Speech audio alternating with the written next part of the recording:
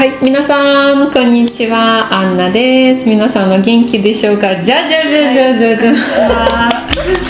誰かな？誰かな？アシアさんです。はい、えっ、と、本日の動画は、なんとなんと、アシアさんの、あの、アシアさんとのコラボ動画になります。イエーイ、やっと会いましやっとコラた。ボできたはい、本当に長かったですね。あの、その今日までたどり着くのは実はえっとまあアシアさんは、まあ、後ほどちょっと自己紹介をしていただくんですけれどもでもう何回もコラボ動画をしようしようっていうあの約束してたんですけれども私のせいでちょっとあのできなかったりしてたので本当に申し訳なくてドタキャンもあったような気がしドます。タキャンもありましたね。ありましたね。ありがとうございます今回は。はい。でえっ、とはい。じゃああのまあアシアを知らない方もいるかもしれないんですけれども、まあ、アシアについてぜひあの日本に来て何年ぐらいですかとか、あときっかけ何でしたかとか、そういうことをぜひ聞かせてくださいね。はい。そうですね。名前アシアですけどもともとロシア生まれ育ちタタール人だけど、まあ、日本でもう12年ぐらい住んでいて、最近まあほとんどずっと YouTuber やってますね。おお、まあ、YouTube10 年ぐらいやってるの YouTube は10年ぐらい、はい。結構じゃあ YouTube がはじあの流行りだした頃から、まだ流行ってなかったかもしれない。まだ流行ってなかった。まだ YouTuber って知られなかった時かあら本当ですか、まあ、ちょくちょく始めてそうです。えー。で、その初めて YouTube をはあのはじ初めて始めたんですけれども、でそういう時のテーマとかはやっぱりその日本に住んでその日本で生活はこうなんですよああなんですよっていうあの動画多かったですか？どうでしたか、まあけどどちらかというとまあちょっとなんでそんな動画作ってたかわからないようなあの変な動画も作ってた。動画もあります。え例えば何？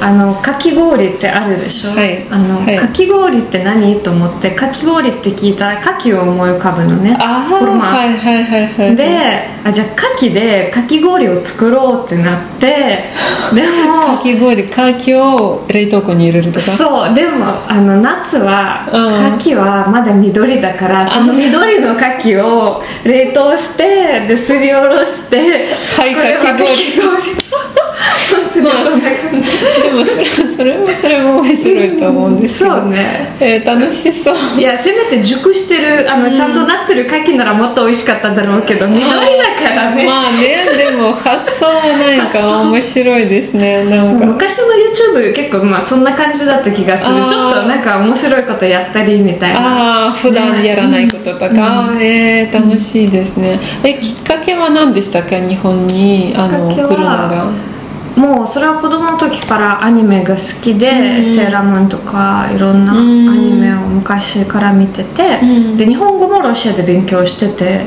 日本に来た時はもう日本語喋れた。喋れた。喋れた。へー。N2 ぐらい喋れた。えーで最初はその観光客みたいな感じで来たんですか？最初から日本語学校で。日本語学校、あやはり、うん。え何年ぐらいですか？えでも2011年ぐらい2011年がい1年とかっていう感じの何ヶ月ぐらい。2年ぐらい。あ、うん。2年も？えーすごい長いですね。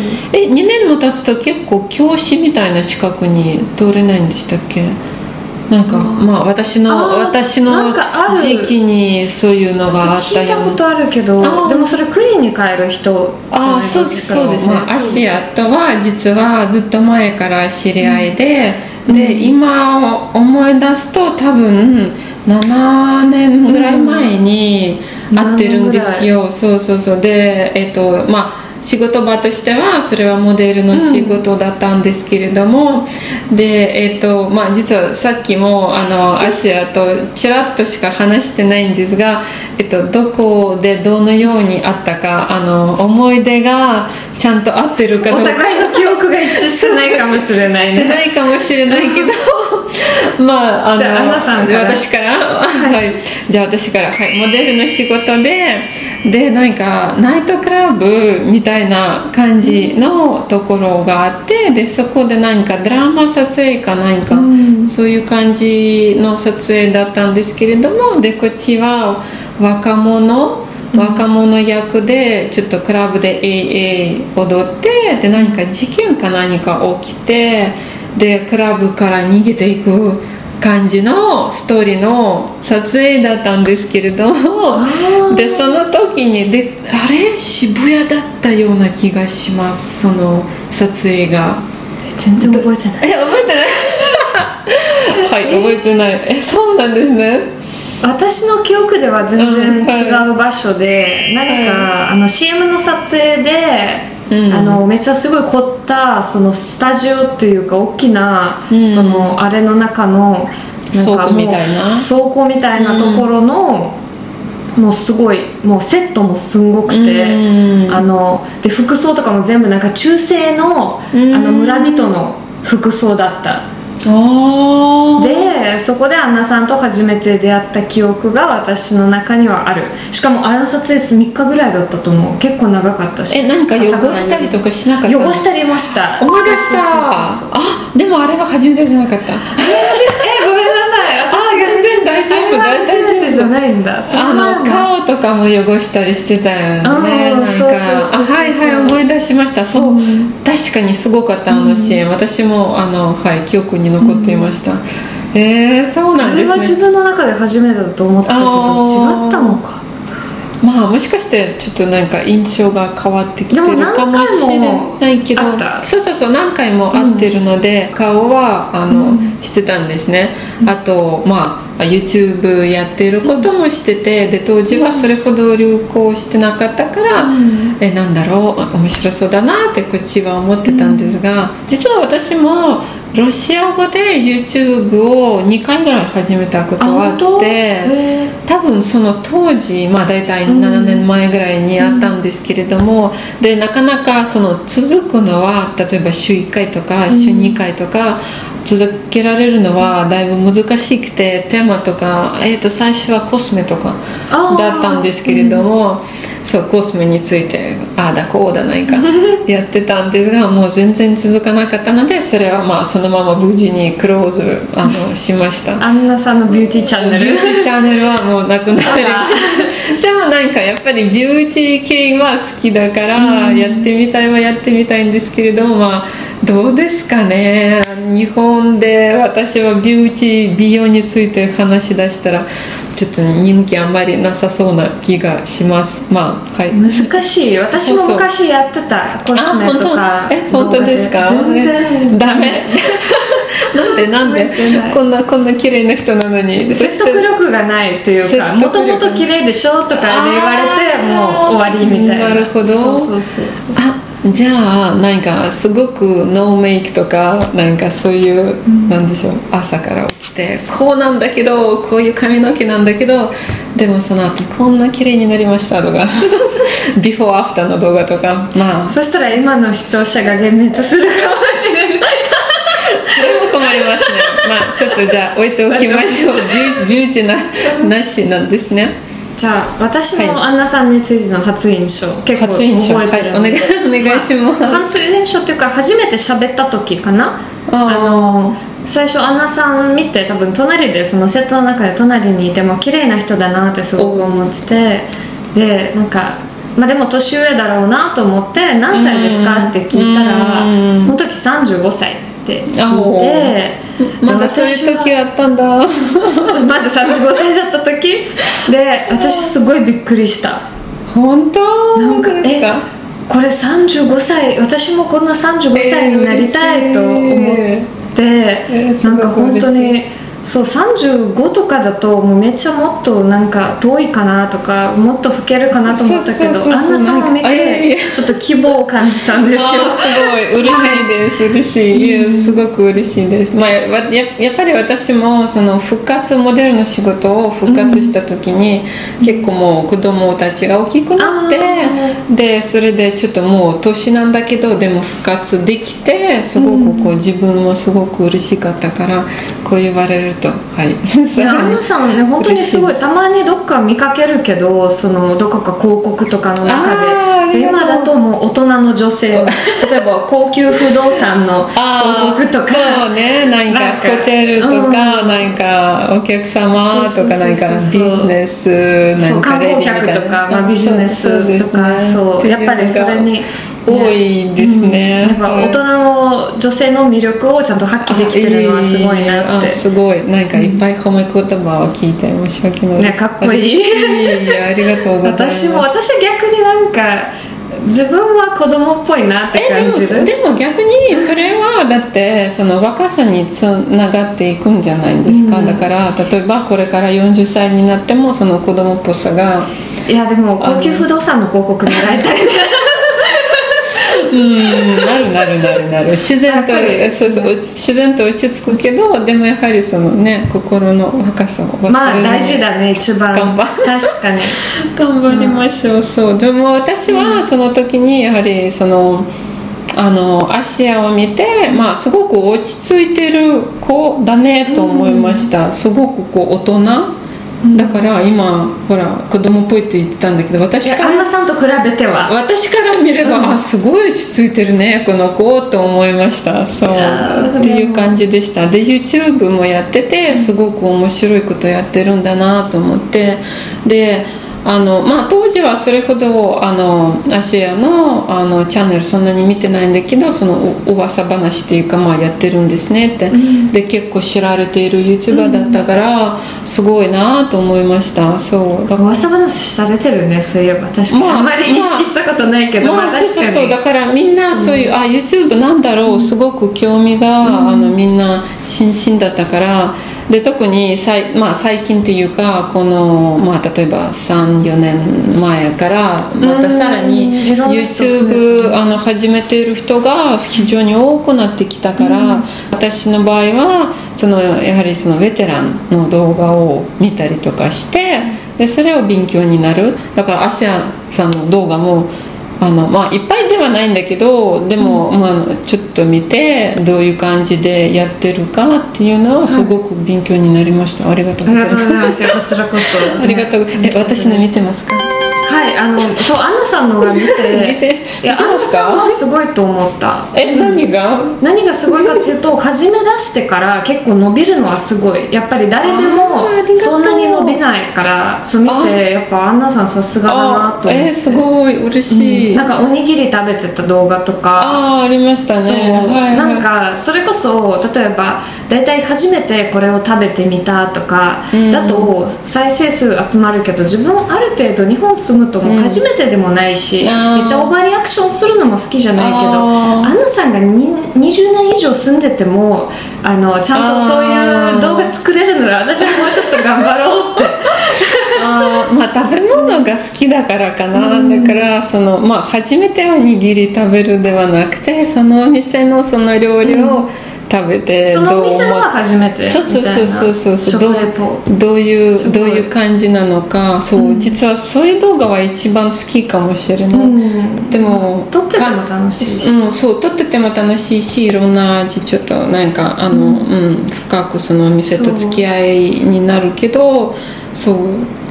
もうちょっとそれが伸び伸びていけばいいのになって。いや結構伸びてる方だと思う。あ本当ですか？だって私は YouTube 始めた時そんなに全然伸びなかった。まあ見てる人も少なかったし当時ね結構昔だったから見てるそもそもね人口が YouTube 見てる人口少なかったけど、まあその今始めるのもやっぱり競争が激しいからその中ではすごいと思うしこれちょっとこれ言ったら失礼ちょっとこれ失礼だったら あのカットしてください。何何なんかこれこれも言われたらもう必ず入れるよ。はい。なんかいつまでも YouTube 続けられないとかその若いからその見てもらえるとか、えでもそうじゃなくてアンナさん見るとやっぱり大人の女性の魅力があるからその例えば10年経った後 なんかじゃああなたが老けるって私が言われて。いやそうじゃなくてその年なりの魅力をちゃんと持つんですよ。そうそれ魅力的な意味だからそれをそれを集める。いやアンナさんを見てまさに実感する。いいすごいなんかもう、ありがとういます。昔からちょっと勇気づけられてるそのすごい、あの、すごい。なんだろう私友達年下が多いからどうしても。やっぱみんな自分より若いけど自分ってどうかなって思う時にもっと上を見るとちょっと先輩、うん。その日あ本日本歴も長いし私より、ね、心強いなと思う、えーすごいなんか嬉しい、そう言われると、また。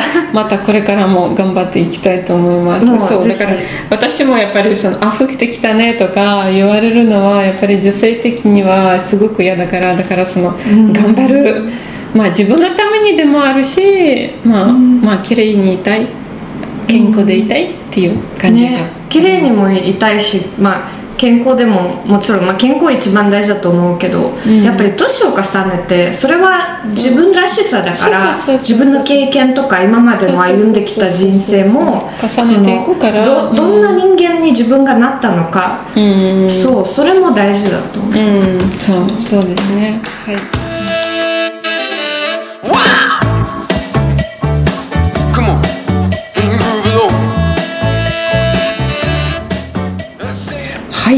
う感じの流れになってきましたけれどもで、まあ、皆さんはご存知の通り、えっと、アーシアはもうねあの、ずっと日本にいて長いんですけれどもで、まあ、私のチャンネル見てる方分かってるかなと思うんですが、まあ、私はその帰化申請をしました、あの書類を提出しました、今年なんですがで実はアーシアさんも帰化申請の経験があってで、は休暇を申請して、で結果はどうなりましたか？不許可になりました。許可になりました。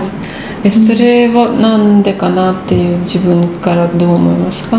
ビザが1年しかもらえないからあビザがやっぱり最近厳しくなって前だったら1年でもはい一応 OK だったらしいけどそういう在留資格ね在留資格そうそうそう。まああと年収とかも条件ができて今までもっと安くてもいけたけど、今もうちょっと高くないとダメあるかそうなんですね。であ聞きたかったんですけど、それは例えばじゃあその正社員じゃなくても、例えばその YouTube 活動でそうやって年収が入るんですよってなったらそれは別に問題なかったんですか？ああそうね。一応就労ビザなのでそれは大丈夫だけどその1年しかないっていうのも問題なので。わかりました、じゃあもうこれからもあの、まあ、例えばそのビザを3年ビザをもし取れたとしたら、もう一回チャレンジしたいですかああもちろんそうね。ちょっとそれに向けていろいろもうまだ、まだ全然できてないけどそれに向けて、うん。あの物事進めたいし頑張りたいと思うけど、うん。まあ、就職したりとか、うん。でもそんなにすぐできることじゃないから多分次申請できるまで45年ぐらいかかる、45年ぐらい。ああ結構大うんちょっと変なんですね、かかる。ああわかりました。でも心強く日本人になりたいっていうのが希望が大きいんですか？希望希希望望もそうだしなんか自分にとってなんかそれしかないと思う。その人生の中でそれしかないとう。思う、その道しかないけどうん。なかなかうまくいかないけどそれ以外はなんか自分は考えられない。うーん。まあ諦めていない。まあ頑いや張る頑張るしかない。諦め半分ぐらいは諦めてるけどでも結局それしかないから諦めても諦めなくても多分いつかそれにたどり着くと思う。う絶対ロシアに帰るのとかはないからうん。うん。うん。違う国にも住みたいと思わないし。うん。そうですよね。わかりました。でアシアは例えばあのまあ私これからまあ面接とかもしあるんだったら、えっ、と何かアドバイスとか何かすごくいろいろ調べている、まあ私もあのかこうちょっと見たりしてるんですけれども、まあ、話聞いたりとか、でアシアはどんな感じですか？何かいろいろ調べられている感じではあるんですか、あー。何かアドバイスとかありますか？面接に向けてとか？